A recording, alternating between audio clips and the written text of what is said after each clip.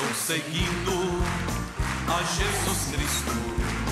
Nesse caminho eu não desisto.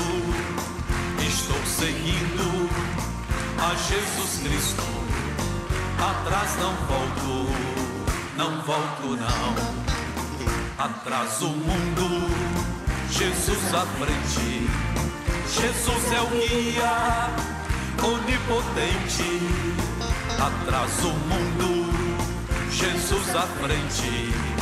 Atrás não volto, não volto não. E para Jesus, uma linda salva de palmas.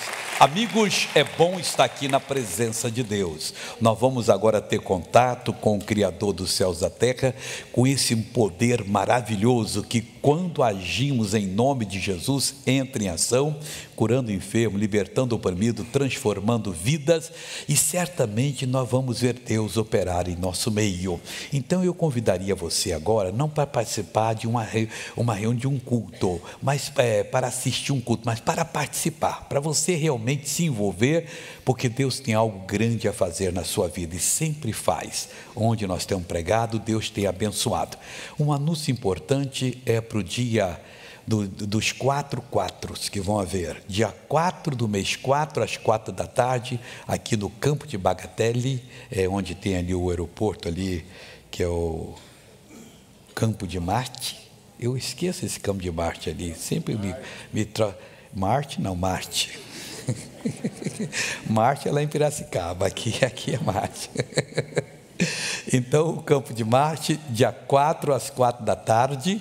E o outro quatro é você e três amigos. Na hora da oração, dos, 40, dos 10 vezes 4, eu, tenho, tô, eu vou completar 40 anos que eu fui ungido pastor. Antes eu já pregava, mas aí me deram essa unção em abril de 75. Já tem um tempinho. Você sabe uma mulher em Belo Horizonte chegou assim: o senhor é mentiroso para todo mundo. Eu deixei ela falar assim na televisão, mas por que, que eu sou mentiroso? Porque o senhor disse que está com 17 anos já e eu estou com 60. Mas a senhora não sabe fazer a conta que eu faço. Mas é mentiroso. Eu falei, não, quando eu completei 50, eu chutei de lado.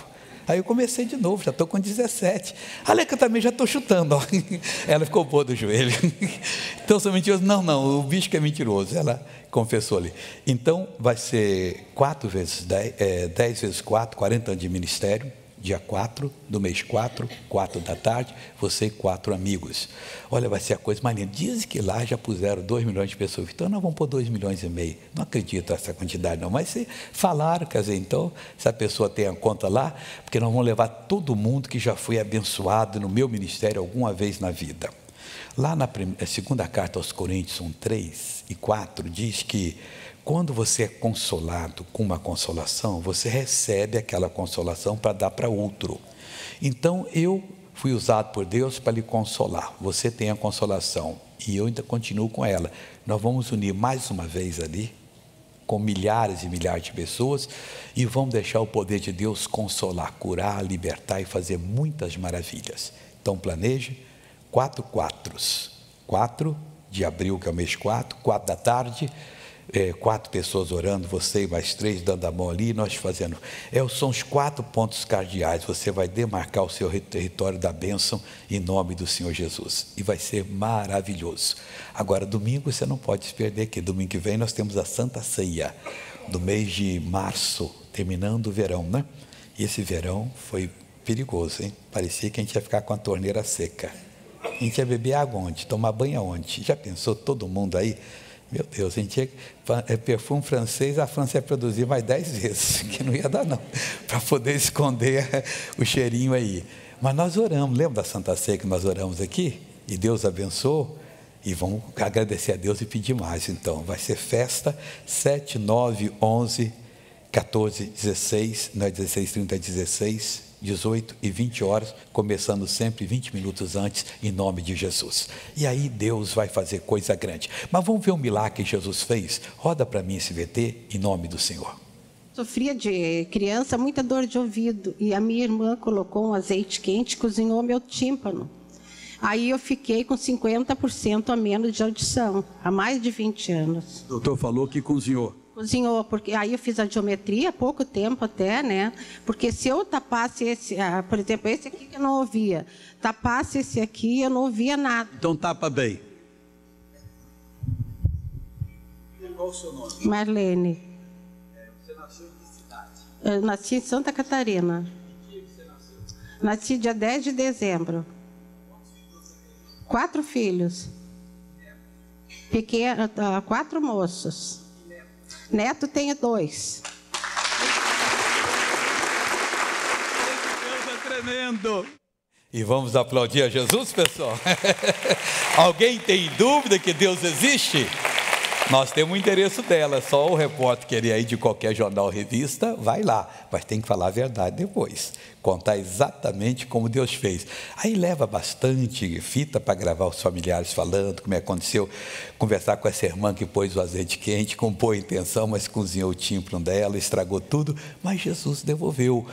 Prepare que Jesus pode devolver. O nosso Deus não falha e o nosso Deus não faz acepção de pessoas. Pode ser o rico, o pobre, o doutor, o analfabeto, o policial ou o bandido. Deus abençoa todo mundo. Mas abençoa bandido? Claro que ele recupera os bandidos. Senão, o que, que adiantava pregar o evangelho? Nós estamos pregando que há bênção para todas as pessoas. E a bênção está onde? Na palavra do Senhor Deus, que faz maravilhas. Amigos, em Deuteronômio 26, versículo 8, está escrito o seguinte: E o Senhor nos tirou do Egito com mão forte e com braço estendido e com grande espanto e com sinais e com milagres. Vamos entender uma coisa: Deus não somente protegeu os israelitas no Egito, que eles eram escravos. Deus não somente nos protegeu quando nós estávamos no império das trevas, porque nós éramos súditos, súditos do diabo, então anda protegendo muita gente. Mas Ele protegeu e fez mais, nos tirou do império das trevas. Hoje, quem é salvo não tem jamais que temer nenhuma ameaça do maligno. Eu vou acabar com você. Pode dar uma gargalhada, mas missionário ele pode. Você crê ou não na palavra de Deus? Isso aqui é símbolo da grande obra que Jesus Cristo fez quando ele ressuscitou, quando ele nos vivificou juntamente com ele e quando ele ressuscitou e nós ressuscitamos com ele. Nós já não estamos mais no império das trevas. Qualquer pessoa que ainda não é salva, na hora que aceita Jesus, isso passa a valer para a pessoa.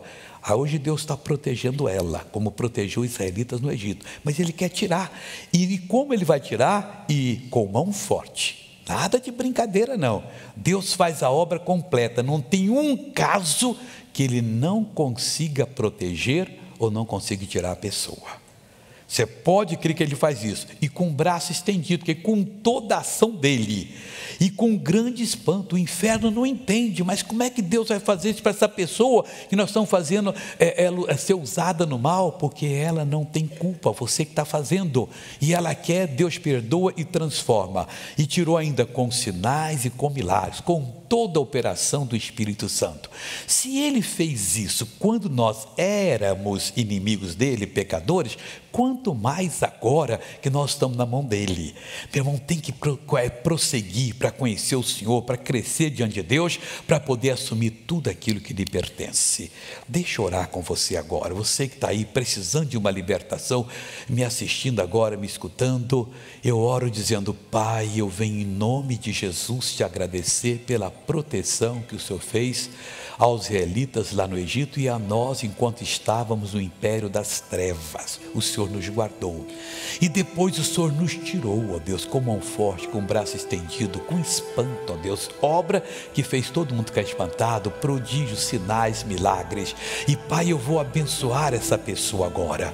Meu amigo, o que você está sofrendo agora, creia comigo. Eu repreendo, eu desfaço e eu mando, saia e não volte mais, nome de Jesus. E você diz amém. Olha, Deus é bom e Deus quer fazer coisa grande na sua vida e vai fazer. Oh, roda para nós mais um testemunho, maestro, em nome de Jesus. Wander, o que, que Deus fez? Deus curou minha coluna nesse momento, porque eu não podia dirigir, trocar a, carteira, a cadeira do meu trabalho, não aguentava agachar, ajoelhar, nada. Hoje. Já fez o exercício agora? Fiz, cheguei com dor aqui agora, depois saiu tudo. fizemos a oração, saiu tudo. Então faz o exercício agora, Vander. Não fazia mais isso? Oh, glória a Deus. Que bonito, né, pessoal? E nós aplaudimos a Jesus, não é, irmãos? Ô, pessoal, eu estou já há cinco programas iniciando a palavra em Gênesis capítulo 25, versículo 19, que é muito importante e é um marco na nossa vida. Nós fomos beneficiados pela fé de Isaac. Isaac era o filho da promessa de Abraão, aquele que nasceu quando a mãe tinha 90 anos e o pai 100 e não nasceu um debilóide, não. Nasceu homem completo. O que Deus faz é perfeito. E aqui está escrito o seguinte, Gênesis 25, versículo de número 19. E estas são as gerações de Isaac, filho de Abraão. Abraão gerou Isaac, e era Isaac da idade de 40 anos quando tomou a Rebeca, filha de Betuel, arameu de Padã Arã, irmã de Labão, arameu, por sua mulher. Agora que vem o que eu quero, que eu estou passando. E Isaac orou instantemente ao Senhor por sua mulher, porquanto era estéril. E o Senhor ouviu as suas orações, e Rebeca, sua mulher, concebeu. O Isaac tomou um susto, ele tinha 40 anos quando se casou. O Abraão mandou o servo dele lá na terra da, dele, e foi linda a história, o servo foi, o, a derrolar da coisa foi muito bonito. E a Rebeca decidiu, eu vou com você com um servo. Claro que tinha uma comitiva para se casar com um homem que ela não conhecia. E veio e casou-se. Tudo direção de Deus. Quando a direção de Deus, a pessoa diz sim e acabou. Aquilo ali é para sempre. E ela então tinha um problema físico, não podia ser mãe, estéreo. Mas o Isaac tinha uma palavra que não veio de um homem, veio de Deus. O Senhor Deus apareceu a Abraão, mandou que saísse da terra dele, da parentela, faria dele uma grande nação, que da semente dele sairia uma grande nação. Isaac era semente, e agora? Vai parar? Ele pode dizer: Deus, eu não estou entendendo. O Senhor parece que brinca com a gente. Não, nunca faça isso com Deus. Se tem erro, é na nossa parte. O Senhor é perfeito, Ele é amor. Deus, a gente não consegue entender como Ele é. Ele está em todo o mundo. Nós somos 7 bilhões de pessoas. Tem um africano agora lá na selva, Deus sabe o que ele está pensando. Tem um indígena aqui na Amazônia, Deus sabe o que está pensando. Tem um americano lá, empresário, Deus sabe o que está pensando. Tem um brasileiro ou um argentino, ali, coitadinho, catando coisa, Deus sabe o que ele está pensando. E Deus ajuda todo mundo mas ao mesmo tempo é como se Deus fosse só daquela pessoa. Mas não é sete milhões de deuses, é um só. Agora, como é que é? Nós não entendemos, nós somos coisa formada. A nossa mente é muito pequena para entender um Deus grande e poderoso como é. E Ele é amor, Ele quer todo mundo bem, Ele não quer ninguém sofrendo. A vontade de Deus é que todo mundo entenda que a palavra dele é a saída da crise. A palavra dele é a resposta para o clamor da humanidade. Quando a gente entende a palavra, nós temos tudo. O Isaac começou a orar instantemente, insistentemente. Ele orou 20 anos para a mulher dele dar, dar à luz, engravidar e dar à luz. Mas missionário é muita coisa. Eu não sei por que, que teve que ser 20 anos. Talvez o problema fosse nele, que ele tinha que crescer, atingir uma medida de fé para poder ter aquela bênção. Só Deus vai mostrar no tempo lá, mas ele não desistiu. Mas há outros casos na Bíblia que se orou menos. Temos o pai de Sansão, a mãe era estéreo também. Manoá era o nome do pai. E eles eram de Deus. E Israel estava 40 anos debaixo do, do, da, da opressão dos filisteus. 40 anos. É o tempo que eu tenho de consagrado. Se escreverem toda a minha história, reunião por reunião por reunião, vai ter muitos volumes de livro. Assim tinha muitos volumes de sofrimento, de livro de sofrimento de toda a nação. Os filisteus mandando neles 40 anos. Aí então eles oraram e um anjo apareceu para a mulher do Manoá e disse: Olha, você vai ter um neném, Ele vai ser nazireu, não vai cortar, não vai passar navalha nele, não vai beber vinho, não sei, tal, tal. Passou a receita para ela. E ela foi correndo e contou o marido: Olha, apareceu um homem aí, parece ser de Deus, e disse que eu vou ser mãe, e tal, e tal, e desse jeito e tal. O Manoá começou a orar insistentemente. Não foram 20 anos, foram alguns dias. Então depende da situação, não quer dizer que isso é um padrão. Mas pode ser que numa pessoa tem que orar 40. Eu lembro quando era jovem, um pastor que já está com Jesus há muitos anos, ele disse: Olha, eu orei 35 anos por uma benção. E eu consegui a benção agora. Eu falei, poxa, eu fiquei impressionado. Eu estava com meus 20, falei assim: o homem orou mais do que a minha idade, quase o dobro para ter uma benção, e disse que teve.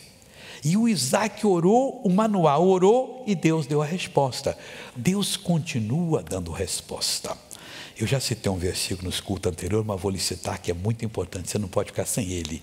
Isaías 64, versículo 7. Aqui, todo mundo que vem deve trazer a Bíblia, irmão, porque aqui é a igreja das Bíblias. A gente aqui realmente faz um estudo dentro da palavra. Não estou dizendo que as outras não sejam, estou falando da nossa. Tem nada com as outras aí. Capítulo 64, versículo 7. Olha o que Isaías disse, vê se você não encaixa nesse ponto. Diz assim: E já ninguém há que invoque o teu nome, está falando com Deus, que desperte e te detenha. Muita gente, irmãos, já invocou muito o nome de Jesus e foi abençoado. Mas elas não prestaram atenção que Jesus disse para todos nós. Ele falou para os discípulos que eu digo a vocês, digo a todos: vigiai, orai, para que não entreis em tentação. E a pessoa esfriou na fé, ela entrou em tentação. O diabo faz até, tentou fazer com que Jesus se confundisse com a Escritura, mas Jesus respondeu com a própria Escritura. E tem gente que ficou chateado na igreja. Eu lembro um caso, de vez em quando eu conto, porque é elucidativo, e se a pessoa está me ouvindo, ela vai saber que é verdade. A senhora morava em São Bernardo do Campo, e a igreja aqui na Praça da Sé. E era uma senhora assim de, de bom gosto, condições financeiras boas, e ela foi à Santa Ceia. Chegou atrasada, a igreja estava lotada, lotada, lotadérrima. E ela então estava adorando a Deus assim, na frente tinha uma, uma moça com um copinho de vinho, que na hora foi tomar, né? E ela começou a orar, orar, orar, orar, orar e jogou o vinho na, na, naquela senhora. Ela, vestido caro, meu Deus. A reunião não se viu muito para ela aquele dia, ficou triste. Voltou para casa, no outro mês ela voltou. Depois ela me contou. Ela chegou na igreja e falou assim: está lá, vou ficar do lado de cá, aqui ela perto nem nada. E está adorando a Deus. Aí uma outra na frente, aleluia, aleluia. De novo, outro vestido. Foi, irmã, pega, preste atenção que isso aqui é uma coisa que Deus está falando com a senhora. Tem qualquer coisa, porque ninguém joga vinho nos outros. Pode fazer que pareça um doido, mas não era doido, ela estava até na presença de Deus. Quer dizer, Deus está lhe falando alguma coisa. E eu até gostaria de encontrá-la. Gente finíssima essa senhora. E tudo bem. Então a gente tem que ver que a gente tem que estar na palavra, irmãos. E aqui diz que já não há ninguém. E já ninguém há. Olha que tempo difícil é esse que o profeta está aprovisando. Que invoque o teu nome.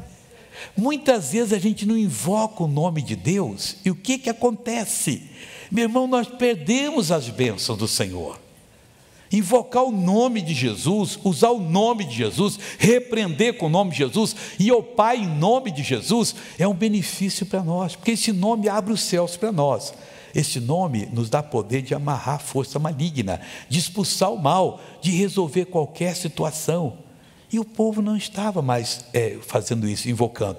E por que não invocava? E diz assim: que desperto, que estava dormindo. Tem cristão dormindo como Sansão, dormia no colo da Lila, dormindo no colo do inimigo.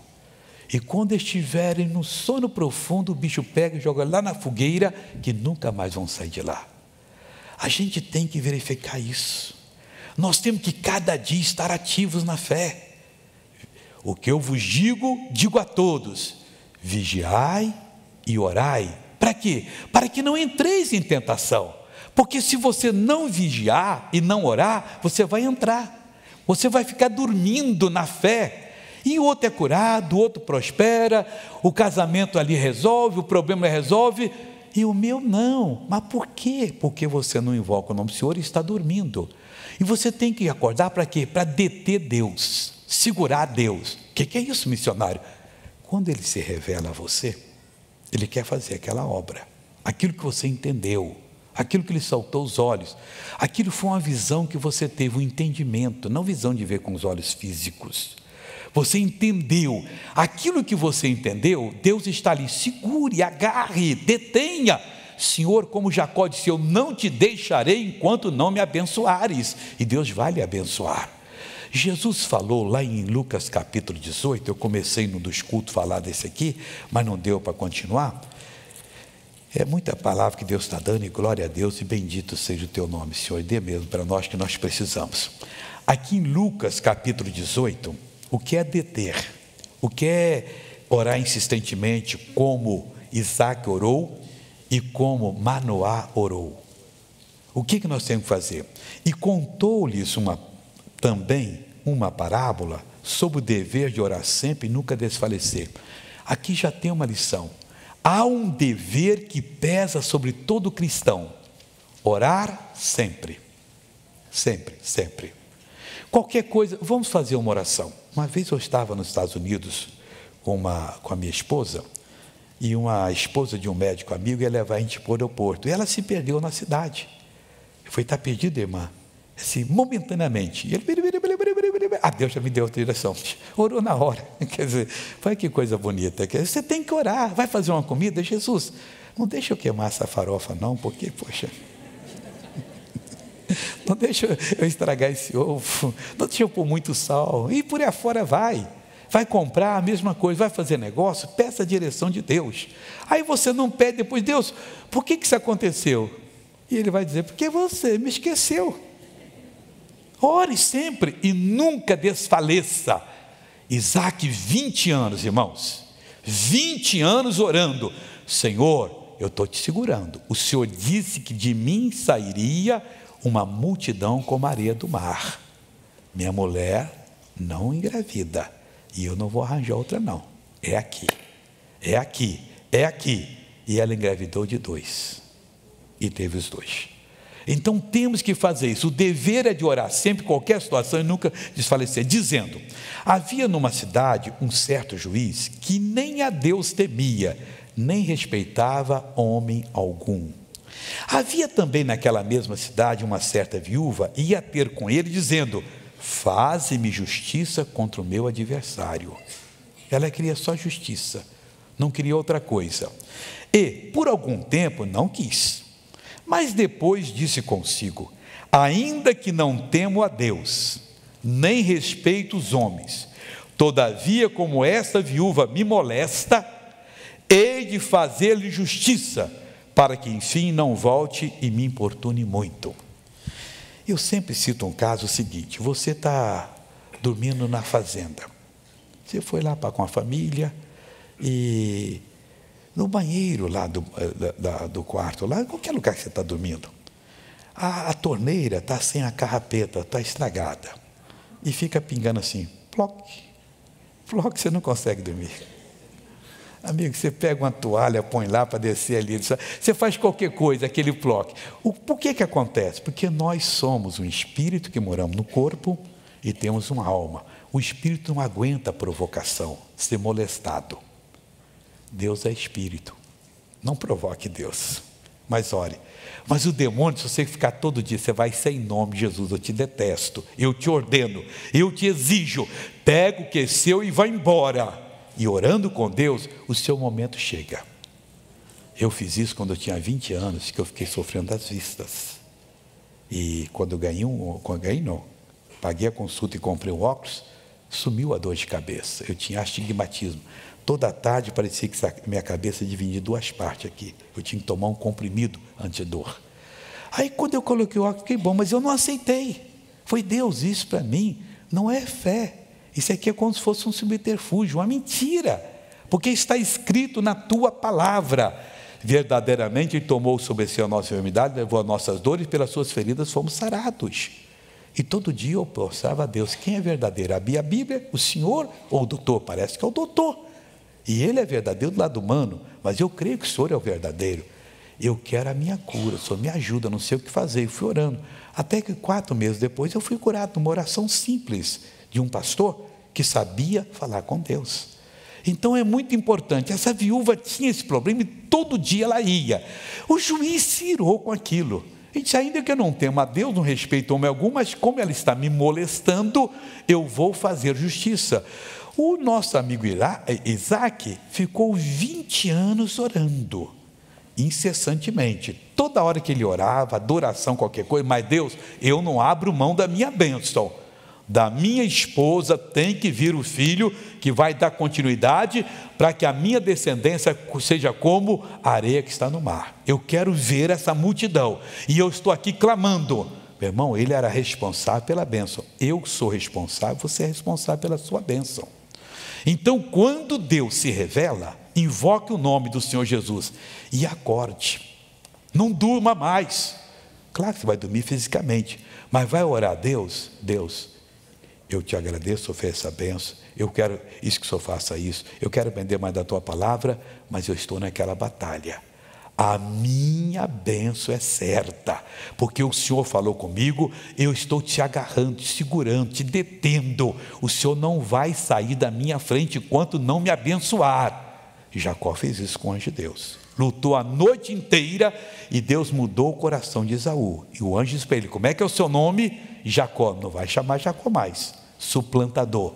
Porque como homem você lutou com Deus e prevaleceu. Agora o seu nome será Israel, um príncipe de Deus. E como príncipe você lutou. E Israel foi o nome de Jacó a partir de então. Então por que que aconteceu? Porque ele entendeu do dever de orar sempre. Aí Jesus fala o seguinte: Todavia, eh, todavia começa a viúva me molesta, de fazer-lhe justiça, para que enfim não volte e me importune muito. Importunar pouco, o demônio não liga não. Mas quando é muito, o bicho dá. Se a torneira pingar só meia hora, você esquece dela. Nem troca a carrapeta. Mas se pingar a noite toda, no outro dia, por favor, arranje uma pessoa para trocar aqui, que senão eu não vou ficar nesse quarto. E disse o Senhor, agora é Jesus falando: Ouvi o que diz o injusto juiz. Ele era injusto. E Deus não fará justiça aos seus escolhidos, que clamam a ele dia e noite, ainda que tardio para com eles, ou pareça tardio para com eles. A verdade é o seguinte: quando você clama, ora e pede e suplica, você vai se abrindo e você consegue ouvir Deus, que vai lhe mostrar: meu filho, isso aqui está me impedindo, isso aqui está me impedindo, isso aqui está me impedindo. É como o rei Ezequias, que orou a Deus, que o Isaías disse o profeta, rei, Deus mandou dizer que você preparar a sua casa, põe em ordem, que você vai morrer com essa doença. O, o profeta ele virou o rosto para a parede e fez uma oração de três partes, em que ele até estava acusando Deus. Deus, tu sabe que eu sempre andei diante de ti com o coração perfeito, eu fiz o que era reto, e se eu errei, a culpa é tua, em outras palavras, né? Aí Deus tocou, ele chorou muitíssimo, ele se arrependeu, tirou aquilo que atrapalhava e Deus abençoou. Então a oração é para quem está acordado, despertado, porque aí você vai ter Deus, em outras palavras, e Deus vai lhe mostrar o que, que está atrapalhando para ele poder operar na sua vida. E é só remover aquilo e Deus opera.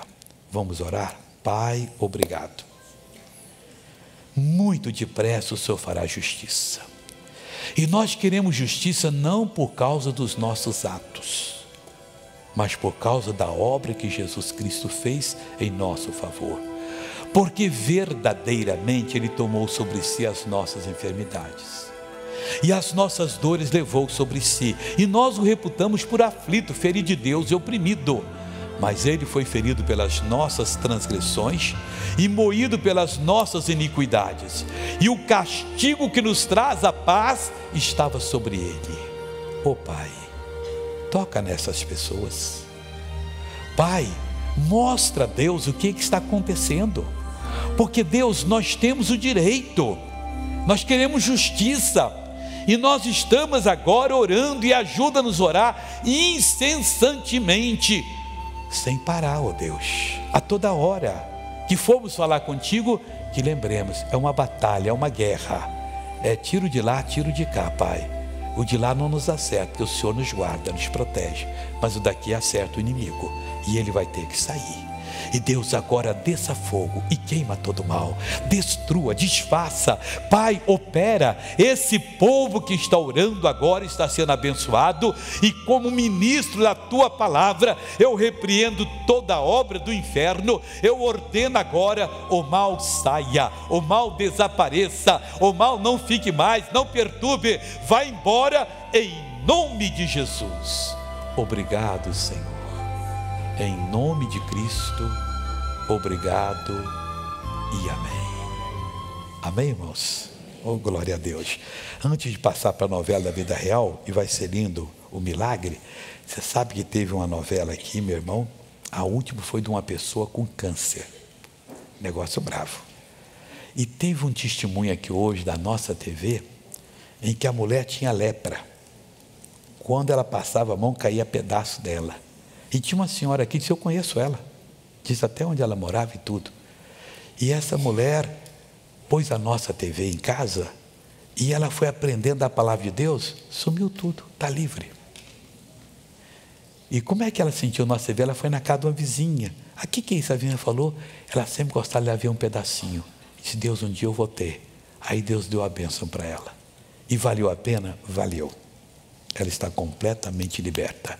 Então eu quero avisar o pessoal da Santa Ceia do próximo domingo, que vai ser, serão sete reuniões, na verdade é oito, seis horas tem uma reunião de adoração. 7, 9, 11, 14, 16, 18 e 20 horas, começando 20 minutos antes, e vamos agradecer a Deus pelas chuvas que voltaram e por aquelas que Ele vai mandar mais, porque nós queremos a benção da nossa terra. Ele manda orar os, os, os israelitas, quando foram para a Babilônia, o Jeremias mandou um recado, o pessoal ficou furioso com ele.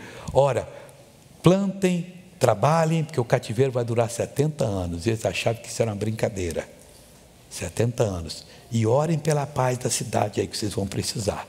E nós estamos aqui, não sei se são por 70 anos ou mais, mas nós temos que orar para onde Deus nos colocou. E Deus vai dar a benção. Vamos agora à novela da vida real, por favor.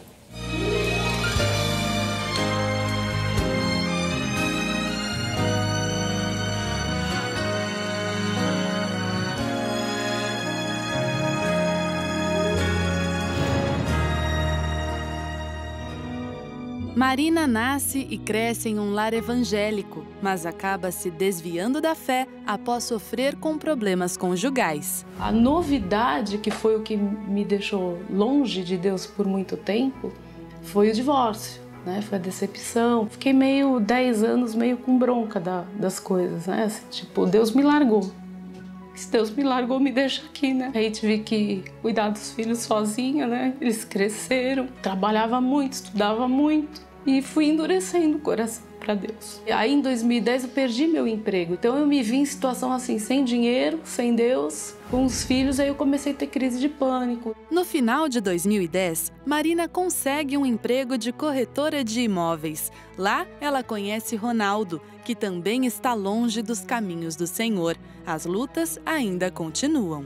E a mãe dela ainda brinca, brincava com ela falava assim: você vai entrar nesse emprego para conhecer o, o, teu futuro marido. E, e, foi realmente o que aconteceu, né? E a gente começou a namorar. Eu conheci ela, vim para casa dela, foram grandes lutas. Finalzinho de 2012, que eu entrei em depressão profunda. Fiquei seis meses de cama. Nessa última crise que eu tive, eu abri a varanda e aí sim, eu, eu, eu digo que foi um ataque demoníaco. Eu queria me jogar.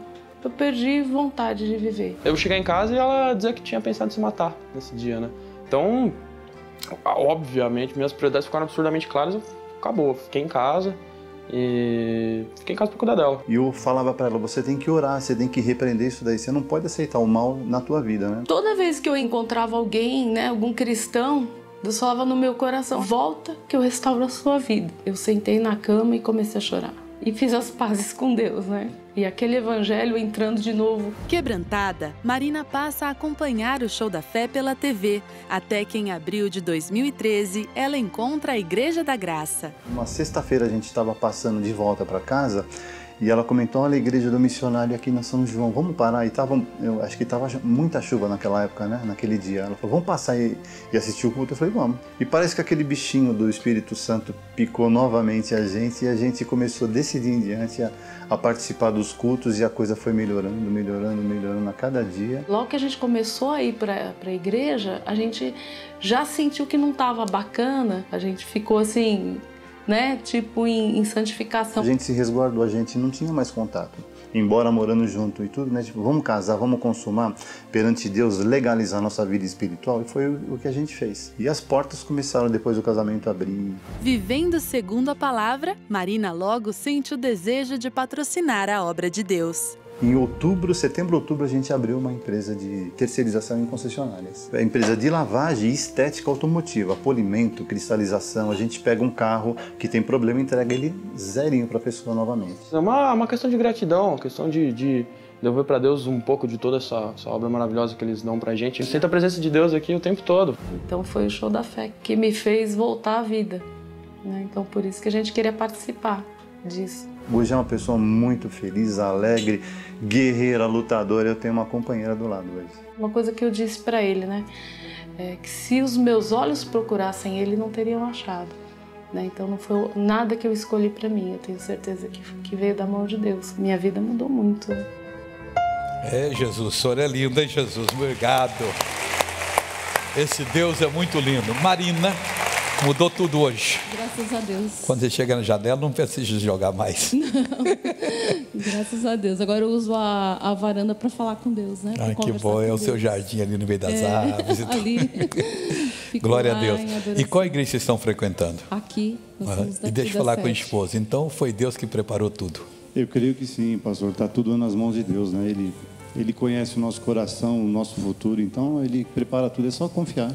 Abriu as portas, estão prosperando. Em 2013, a gente tinha uma distribuidora de perfume e acabou, né? Uhum. E eu vi o fim do túnel, missionário.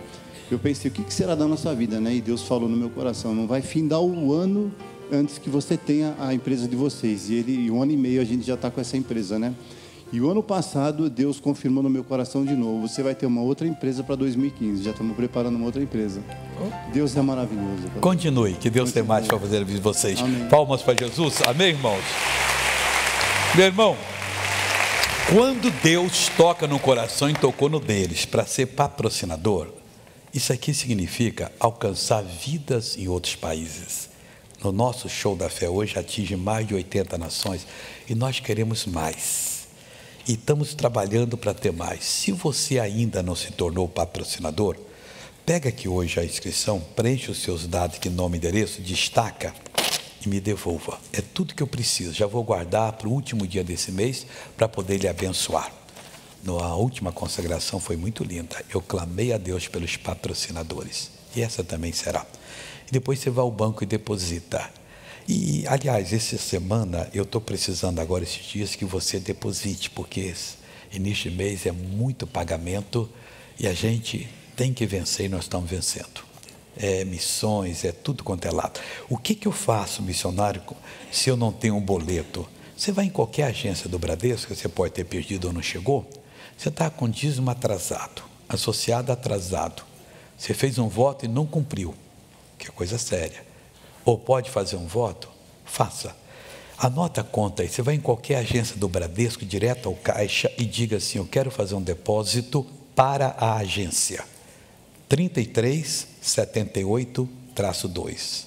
33 78 2. Na conta 29 315 meia dúzia. 29 315 traço meia dúzia. Se for no Banco Brasil, muda-se os números. A agência é 0101 traço 5, 0101 traço 5 e a conta 62 120 traço X. 62, 100, é, 62 120 traço X. Agora você que ainda não é patrocinador, que está em casa e Deus tocou, ligue para nós agora, para o Rio São Paulo. No Rio o telefone é 2141 3510. 2141 3510. 0 prestador 21. São Paulo é 3352 5870. 33 52 58 70.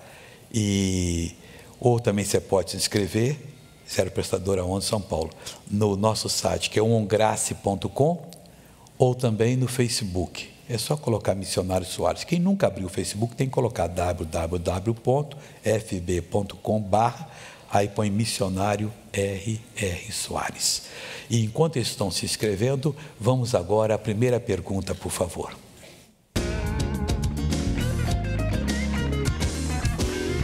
Missionário, como separar o joio do trigo? Tem jeito, irmão. Essa praga aí fica. A melhor é você andar em espírito que você sente. Não é, é de Deus. Mas até os discípulos disseram: Senhor, quer que a gente vá arrancar? Disse, não pode, você pode arrancar o trigo também, para jogar o joio no fogo. Mas os anjos de Deus, no último dia, Jesus disse que vão ser enviados e eles vão fazer no abrir e fechar de olhos. Não vai haver um erro, todas as pessoas serão separadas. O grupo da direita, Jesus vai convidá-los para entrar no reino que está preparado desde a fundação do mundo. E o grupo da esquerda vai mandá-los para a perdição. Tomara que você esteja no grupo da direita, você seja o trigo de Deus. Segunda pergunta. Missionário, é errado nomear crianças com o nome de Jesus? Olha, lá na Espanha acho que isso é normal, porque o que tem Jesus lá não é brincadeira, mas só Jesus de nome assim fé mesmo em Jesus é muito pouca naquele país. Eu tenho pregado lá, tenho tido boa recepção. Até eu contei um dia desse aqui, se eu saísse um minuto antes, um minuto depois, o milagre não acontecia. Eu orei, passei para o pastor. Por quê? Porque eu saí vamos dizer, por esse corredor aqui, estava cheio, o pessoal em pé, eu desviando. E quando eu entrei ali no saguão da igreja de lá, e uma senhora levada por dúvida. O que está acontecendo? Ela disse, ah, não consegue andar. Foi, deixa eu orar por ela. O demônio manifesta, manifestou, segurei que caiu, ela caiu no chão, mandei embora, saiu já entrou na igreja dando testemunho. Quer dizer, está acontecendo um trabalho bonito lá. E glória a Deus por isso. Agora, dar nome Jesus, eu não sei se seria bom não. Eu gosto tanto desse nome, eu honro tanto esse nome, eu não daria. Mas eu tenho amigos que chamam Jesus, mas você é o Jesus da terra, né? Não é o meu Salvador, o meu Jesus é o verdadeiro. Vamos agora. É, ah, deixa eu mostrar para vocês, pessoal. O outono vai chegar agora dia 20 e nós já soltamos o livro, mas é cada capa bonita que estão fazendo. As mensagens são minhas, mensagem e oração, uma para cada dia do mês. Isso aqui é bom para dar presente. A Doliana está ali no shopping e isso deveria custar uns um 70 70 reais, está só R$ 29,90. Isso é para todo mundo ter, apesar de ser coisa boa, colchoado, para você guardar para sempre e tal. E o shopping está aqui do lado, com a Doliana, e está os filmes, está os CDs, está os DVDs. No Rio é ao lado da igreja, lá do Tem Tudo. Em Campos do Goitacás, na entrada da igreja. Qualquer lugar você acessa pelo telefone 0 prestadora 21 21 41 5100.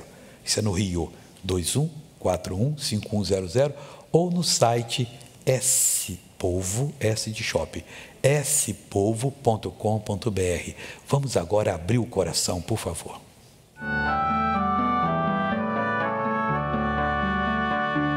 Missionário, tenho a mente muito confusa, por isso peço a sua ajuda.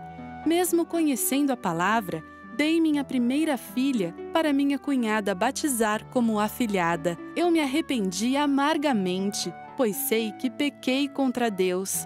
Depois de tanto pular de igreja em igreja e já tendo me batizado nas águas, tornei a me batizar e senti um peso tremendo novamente sobre mim. Missionário, por favor, ore pela minha vida. Eu não tenho que orar, você tem que tomar juízo. Você pula de galho em galho. É mais ou menos como estudante de inglês. Quem que já estudou inglês sabe disso. A classe começa com 20 alunos. Primeiros dias é fácil. Good morning, how are you? Todo mundo gosta. Começa a engrossar, a classe vai diminuindo. Depois você tem que pular para outra classe. Às vezes o pastor começa a ser usado por Deus, te coloca contra a parede e eu não quero isso não, vai para outra. Minha irmãzinha, firma com Jesus. Firma numa igreja escute a pregação, creia que Deus vai lhe abençoar e você será plenamente abençoada. Esqueça esse negócio de ficar pulando de lado em outro. Quanto caso, aí já fez, já batizou. E isso não tem valor nenhum, porque Jesus diz: quem crê e for batizado será salvo. Não tem valor nenhum batizar criança. Criança crê, não crê. Nenenzinho crê, não crê. E ide por todo mundo pregar o evangelho a toda criatura, julgue aquele que crê e for batizado será salvo. Então, só pode ser batizado depois que crê. Aí você agora começa de, de, de maneira certa e Deus há de esclarecer. Vamos ao momento Nossa TV agora.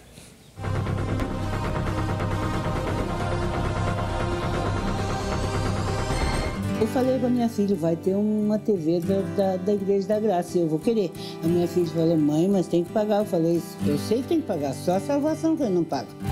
Mas Deus vai me dar graça que eu vou querer e vou pagar. E venço dia 10, o meu, quando é dia 1 o máximo até dia 2 eu já paguei. Cinco anos vai fazer dia 29 de março.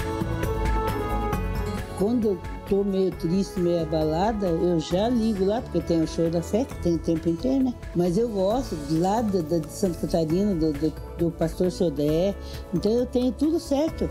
Os dias, hora, tudo. Não fico sem. Enquanto eu viver, duas coisas: é o patrocínio e a nossa TV. E não vou desistir, o diabo não vai me vencer. É o que você precisa, pessoal. Você não sabe que está perdendo. Ela falou do pastor Sodé, tem um pastor Anderson, tem um pastor Air, tem um pastor é, Guilherme, é, tem um pastor, é, e tanto pastor aí, estou até esquecendo o nome. Esse é o canal das igrejas. Tem também as minhas campanhas. Tem o canal da igreja daqui, que tem, pastor, tem um Galhardo também. Tem tantos pastores aí, o de Curitiba é só tem é, é, coisa boa. E tem um canal Show da Fé, dois canais Show da Fé. O programa do dia que repete 24 vezes, você nunca perder, até repeteco se você gostou muito e assistir. E tem o programa Show da Fé de 18 anos, tudo misturado, você vai aprendendo. Tem um canal da juventude, canal da oração, só tem coisa boa. E o último é o canal da Bíblia, mas eu estou apaixonado pelo canal da Bíblia. Roda um pedacinho para esse pessoal ver como é bom. O fogo, pois sobre o altar arderá nele, não se apagará. Mas o sacerdote acenderá lenha nele cada manhã, e sobre ele porá em ordem o holocausto, e sobre ele queimará a gordura das ofertas pacíficas. O fogo arderá continuamente sobre o altar, não se apagará. E esta é a lei da oferta de manjares um dos filhos de Arão. Cada versículo tem uma imagem diferente. E você pode sentar na sala, tá chateado, você vai lendo, ouvindo, vendo. Daqui a pouquinho mudou a sua cabeça completa.